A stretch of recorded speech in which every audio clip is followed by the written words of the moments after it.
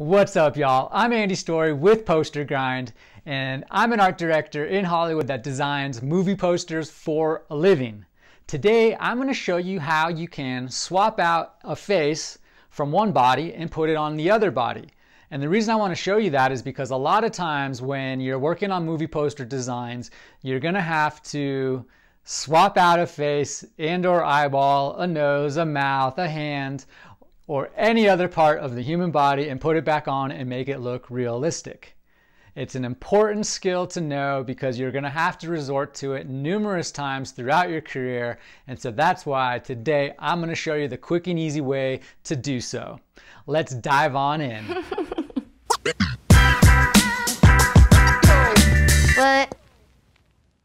Okay, guys, let's go ahead and rock and roll with this face swap. Go ahead and fire up Photoshop, drop in your two images where you want to switch the faces and or expressions or eyeballs or smile to grimacing to whatever you want to do. What I did today is went ahead and downloaded two images from Envato, which I would suggest you do as well. It's a very affordable stock photography and graphics website where you can pick out multiple images for your projects. So, Let's get started. These images that I dropped in are going to be the same model, obviously. We're going to pretend she's an actress, and this is a uh, movie about living on a beach or something like that. What the creative director wants or what you want as the art director is to keep the hat image. See the hat? We're going to keep that, but we want her looking off to the left. And that's what she's doing in this image. So we're going to swap this face onto that face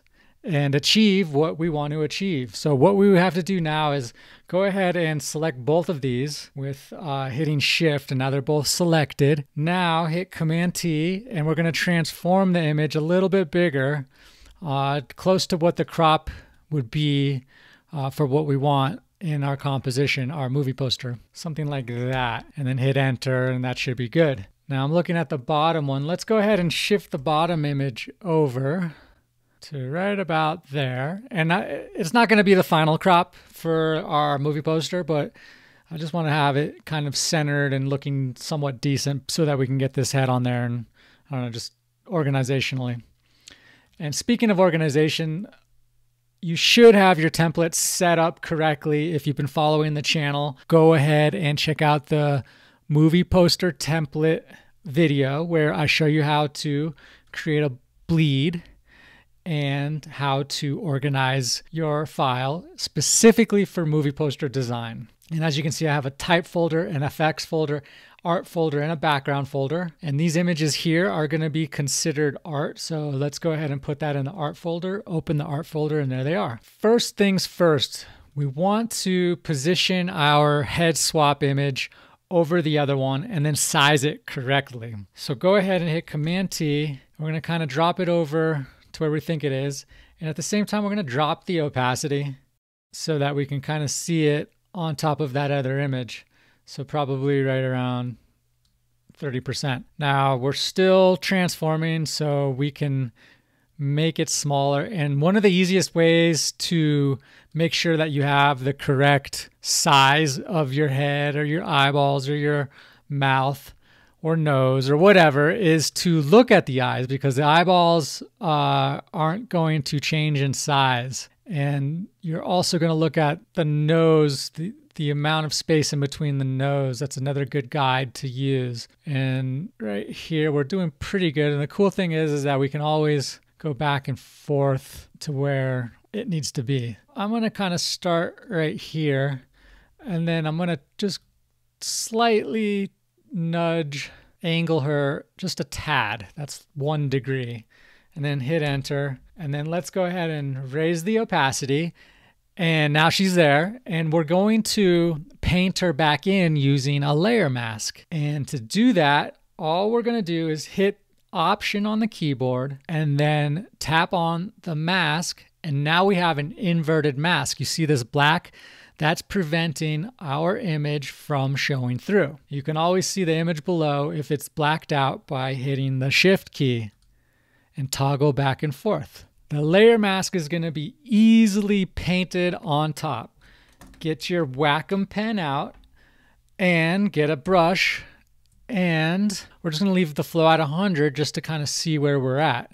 And you want to paint white to allow the bottom image to show through. Right now, if you look over here, I am on black. I'd be painting black, so nothing would show through. But as soon as I switch that to white by hitting X, it allows me to paint this image through. And voila, we have a face swap. And now our job is to delicately paint in where we want it to paint and where we don't want it to paint. For instance, I just put that neck in there and that neck doesn't look very anatomically correct. We're to paint that out and make it correct. You want to try and leave as much of the previous image as possible, especially this neck area. You can kind of see that's not to work. So let's go ahead and paint that back.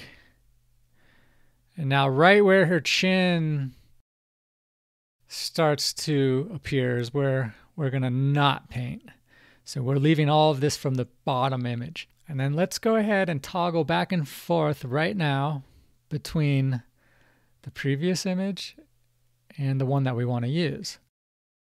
I'm just kind of looking at it and I think it's a little small. So hit Command T, or that face is a little small. So let's go ahead and put the scope right here so that when we transform and make this larger, everything expands from this point.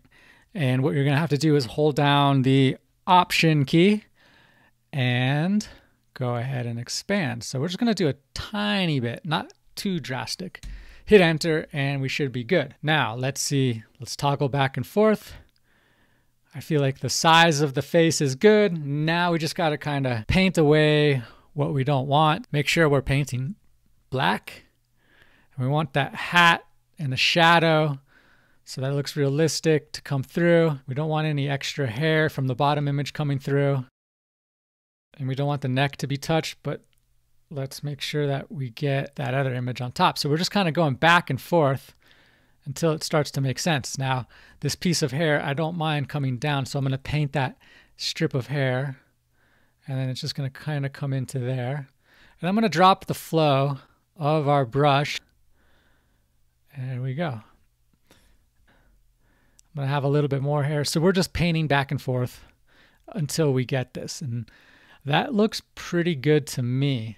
Now, let's toggle it, make sure there's nothing too weird happening this, let's go ahead and hit Command Plus and get a little closer and kind of see what's going on right here. See the shadow coming through from the bottom image? We're going to get rid of that. Make sure we are painting white. Increase our flow so we make sure that we get all of it. Something like that. And that's a little bit more realistic. All right. And now we kind of want to see where our mask is. So go ahead and hover over the mask and hit option. And now we can see what's really coming through. There's nothing weird or out of the ordinary. So we can just hit that again, option. And now we're back to our image. And that there is a pretty easy beginner face swap. For organizational purposes, let's go ahead and group this and name it. Hit shift for both images, the top and the bottom layer, and then command G and then we're going to name this actress one. And there we go. And now we have our actress ready to go. If this was a movie poster, we would have title, copy, and then we'd even have effects for some kind of color treatment, which we can just kind of play around with right now. Just do a color balance and let's get uh, a little more red in there and some magenta. And now it looks like we're looking at a sunset, which is totally possible. So you can kind of play with it however you want. And then we can just get the type color a little different. And this is just for tutorial purposes, but the title would be down here somewhere. And let's say we want to crop the actress. We can do so. Something like that. And then the title. But you guys kind of get the point. Now you guys have the beginner's guide to face swaps for movie poster design. If this is something you guys dug and learned from, if you're a beginner just getting into movie poster design, go ahead and hit that like button and subscribe because we will be updating with more movie poster tutorials in the future. All right, guys, I just did a quick little treatment for our movie poster just to kind of, um, you know, finish it up. I would have definitely spent way more time on this if this was just strictly face swap, but I want to give you guys a little bonus of what I did to get to this spot here. So for the effects folder where we do a lot of the color grading and treatments and technique, uh, what I did is I call or I actually uh, dropped in more shadow here so that our title is easier to read. And one way to see if your title is reading is by keeping your navigation uh, tab open here on the right so that you can have a good idea of how this would look from a little further away.